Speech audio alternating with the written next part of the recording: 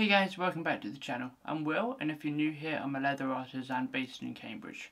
Today I'm going to show you how to baseball stitch. It's not going to be on a baseball, unfortunately, because I don't have one. It's going to be wrapping my fileteuse handle, one of these, in leather, because I like wrapping stuff in leather, funnily enough. It's not because of any other reason, and it's a really good way of showing you guys, because it's a completely uniform length and thickness. So, stick, stick around and I'll show you how to do it.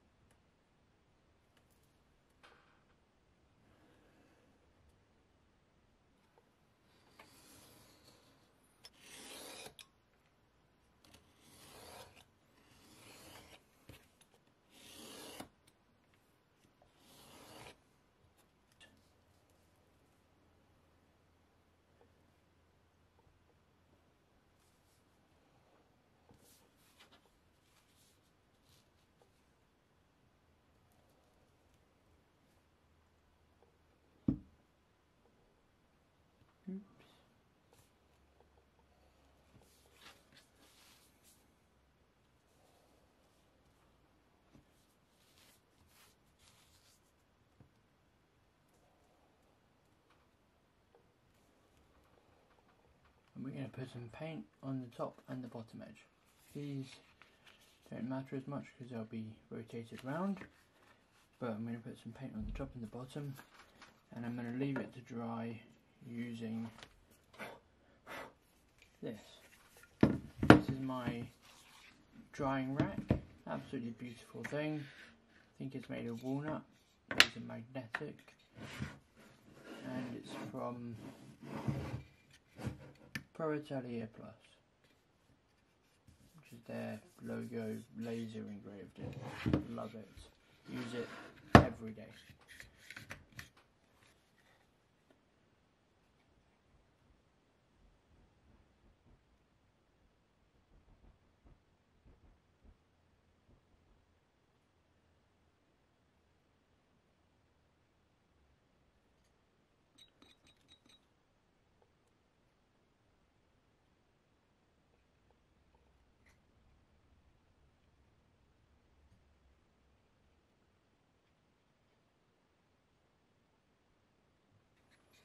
And now we're going to put it into this stand. And let it dry. And punch it all the way through.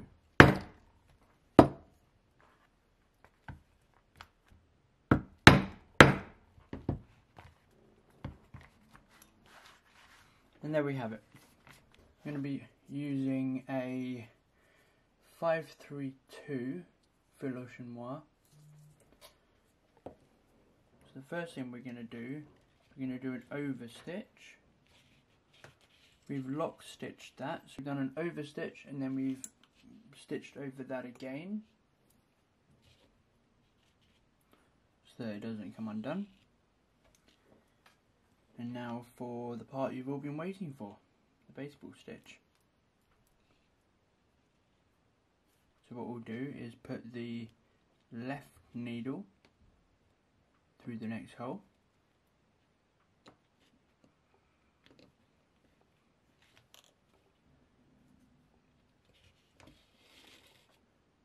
Put it tight. And then the right needle goes over that.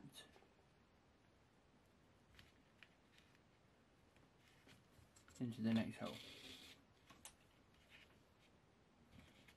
I know it doesn't look that much yet, but that's the beginning of the baseball stitch.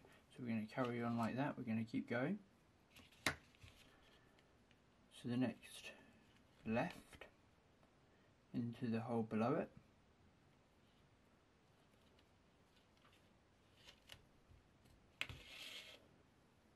And then the right needle goes above that, right needle goes over,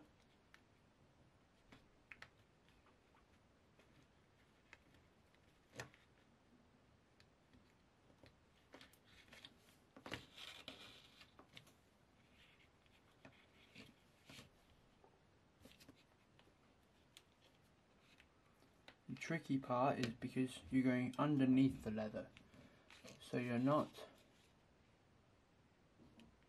you're not going like that. You're going underneath.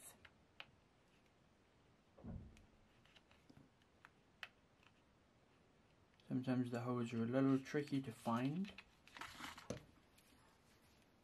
And then the right needle goes on top.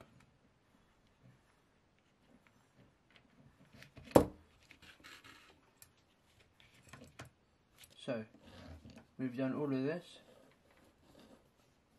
It looks just like a baseball, if a baseball was flat.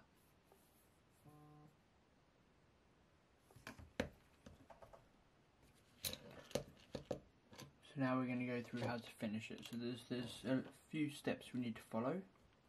I'm just going to stitch the final holes here. Again, to uh, reiterate, it's left under the under the leather left right needle.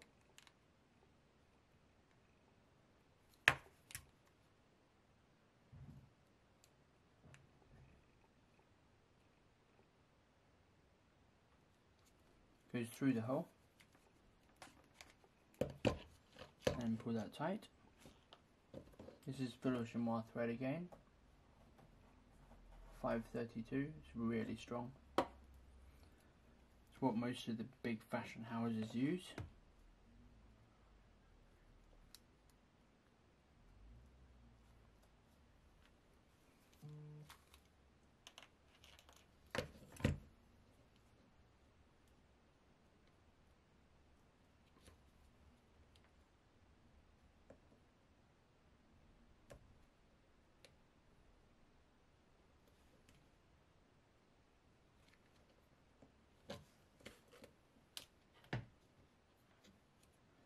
and this is the last one and then we'll finish it and I'll show you how to finish it.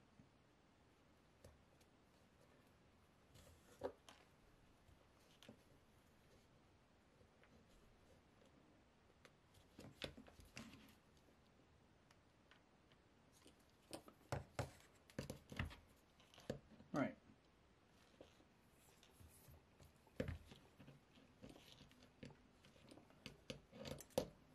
So, here we go. To finish, let me zoom in for you. To finish, we're going to do an overstitch.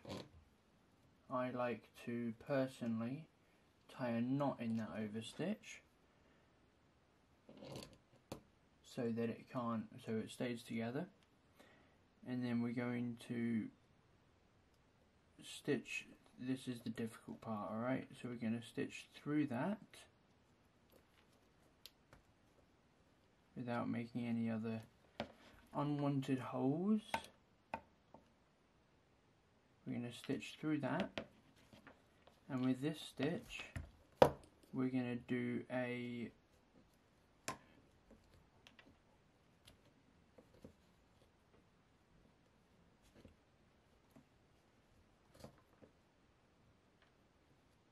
we're going to put it through here so we're going to do a um, a cast with this. So it's going to have essentially a knot in it.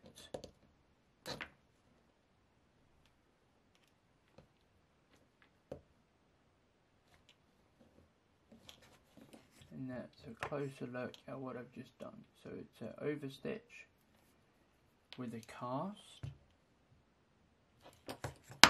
And then I'm going to do one more over stitch. And it will be quite a bulky finish on this. Ordinarily you'd go back but I don't want to. So the other stitches you can do a cross stitch but we'll go through that on another video. So make sure you're make sure you subscribe so you don't miss that. A little bit of glue on and all. And we're gonna put it on that thread and we're done. You can just do a single back stitch there, a single over stitch there if you prefer not to have the,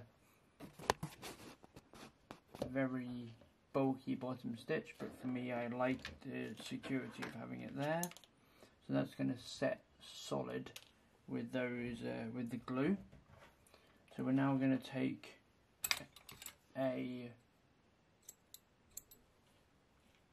small thread snipper I'm going to go close to the holes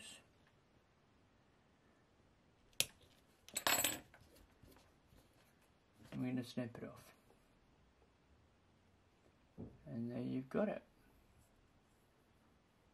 A beautiful baseball stitch. Before we finish up though,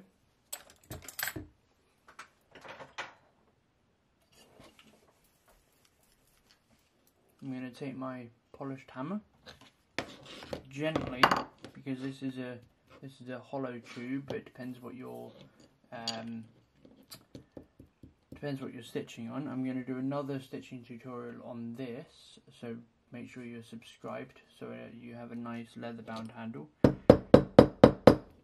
You're going to gently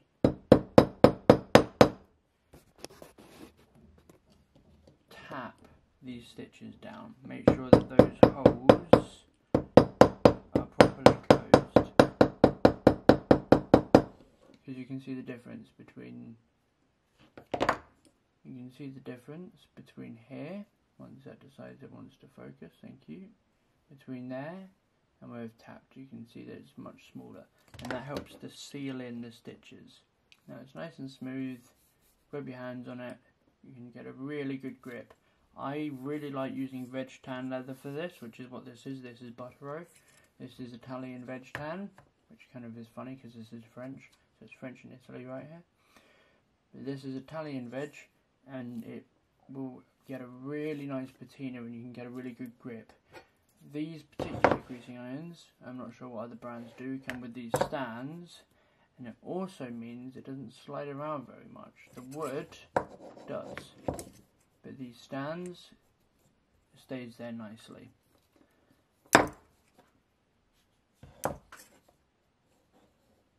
And it looks really pretty as well.